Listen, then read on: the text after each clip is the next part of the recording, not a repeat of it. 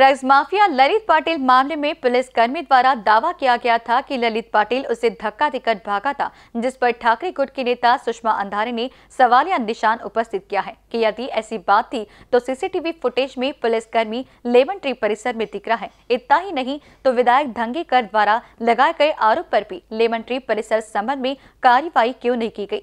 जहाँ उन्होंने ललित पाटिल, भूषण पाटिल समेत अन्य चार आरोपियों में ससुन के डीन संजय ठाकुर, उनके निजी सहायक इलाज करने वाले डॉक्टर आदि के नार्को टेस्ट की मांग की है। ज्या पोलिसाने बनाव केला की माझ्या हाताला झटका देऊन तो पळाला पण तोच पोलीस लेमन ट्री परिसराच्या हॉटेलमध्ये सीसीटीव्ही फुटेजमध्ये सापडला. हे विशेष की त्या लेमन ट्री मध्ये तो वास्तव्याला होता आणि त्याला तिथे बायका पुरवल्या जात होत्या.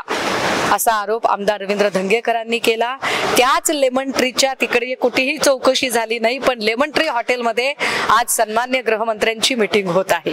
फार म्हणजे योगायोगाच्या गोष्टी आहेत सगळ्या. शंभूराजे देसाई दादा भुसे ललित पाटील भूषण पाटील ससून हॉस्पिटलचे डीन संजय ठाकूर त्यांचे स्वीय सहाय्यक उपचार करणारा डॉक्टर आणि हाताला झटका देऊन पळून गेला असं सांगणारा पोलीस.